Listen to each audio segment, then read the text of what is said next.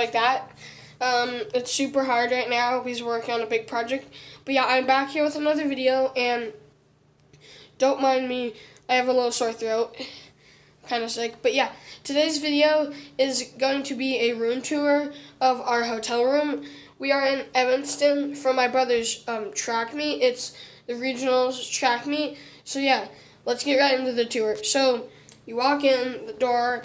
Here's the bathroom. Sorry, it's kind of messy. It's just like a sink, toilet, shower. Yeah. Um, then you walk in. This is a dog-friendly hotel, so of course you brought Callie and Lily. They're both exhausted, but yeah, you walk in. There's a little bench right here where you can like put stuff. Sorry, it's a mess. I slept here. My parents slept there.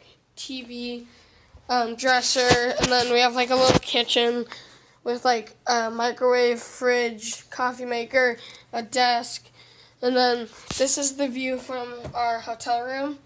Um, right around the corner um, is my brother's hotel. We had to stay at a different hotel because his hotel was full.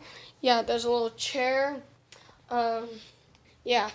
Um, both the dogs slept with me on my bed right next to me the whole night. Um, yeah.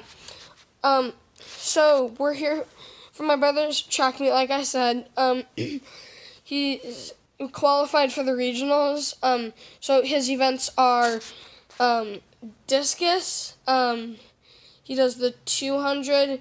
Then he's doing a relay. He did the relay today, yesterday.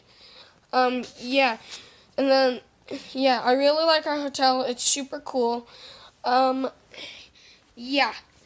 I hope you guys enjoyed this video, and I will probably come out with another video probably tomorrow.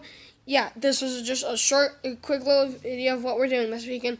I hope you guys enjoyed the video, and until next time, see ya!